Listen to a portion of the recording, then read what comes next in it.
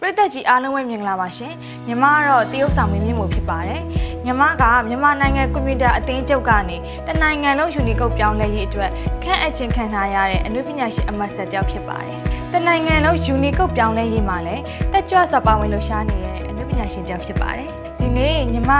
ယူနီကုတ်သုံးရတာအရန်အဆင်ပြေတယ်မြန်မာစာရိုက်ကီးပုတ်လေးနဲ့မိတ်ဆက်ပေးချင်ပါတယ်ဒီကီးပုတ်လေးကိုသိကြလားဒါကတော့ပကံကီးပုတ်လေးပဲဖြစ်ပါတယ် မြန်မာနိုင်ငံမှာလူသုံးအများဆုံးကီးပုတ်ဖြစ်ပြီးလစဉ်သုံးဆွဲသူပေါင်း၈တန်းကျော်ရှိနေပါပြီအခုလဲယူနီကုတ်ပြောင်းလဲမှုခရီးစဉ်မှာအသုံးပြုသူတွေအဆင်ပြေဖို့အတွက်ပကံကီးပုတ်ကအသစ်ထက်လုပ်ထားပါတယ်ပကံကီးပုတ်မှာပကံစတိုင်ယူနီကုတ်ကီးပုတ်တင်မုံကြီးစတိုင်ယူနီကုတ်ကီးပုတ်ပြူဝယူနီကုတ်စတိုင်ယူနီကုတ်ကီးပုတ်ဆိုပြီးတော့၃မျိုးရှိပါတယ်၃မျိုးတွေကမှကိုကြိုက်နှစ်သက်ရာကိုရွေးချယ်ပြီးအသုံးပြုလို့ရပါတယ်။ ပကံကီးပုံမှာစာရိုက်ရတာမြန်ဆန်မှုအတွက် auto suggestion နဲ့နှစ်ချက်ရိုက်အမြန်စနစ်တွေပါဝင်ပါတယ်။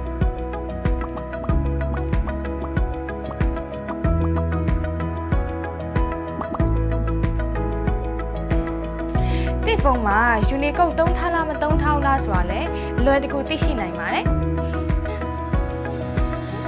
ဇော်ဂျင်းနဲ့ရေးထားတဲ့စာတွေကိုဖတ်လို့မရအောင်လား။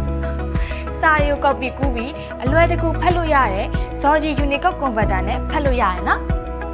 ကိုယ့်ဖုန်းထဲမှာရှိတဲ့ဇော်ဂျီနဲ့ရေးထားတဲ့ဖုန်းကွန်နန့်တွေစာတွေဗီဒီယိုဖိုင်တွေတချင်းဖိုင်တွေရဲ့နာမည်တွေကိုအလွယ်တကူပြောင်းနိုင်တဲ့ Unicode Converter Tools ကိုလည်းပကံကီးပုံမှာသုံးလို့ရနေပါပြီနော်။ပကံကီးပုံမှာ Premium Themes တွေဝယ်ခြင်းနဲ့မိမိစိတ်ကြိုက် background ပုံလေးချင်းချင်နေဆိုရင်လည်းပကံကီးပုံရဲ့ Premium version ကိုဝယ်သုံးလို့ရတယ်နော်။ Android ဖုန်းတွေမှာတာမက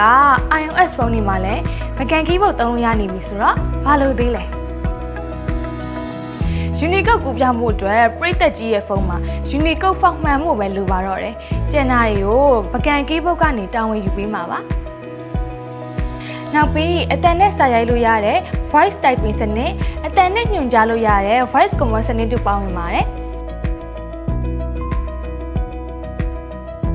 ငါအပြင်ရောက်နေတဲ့ဟာ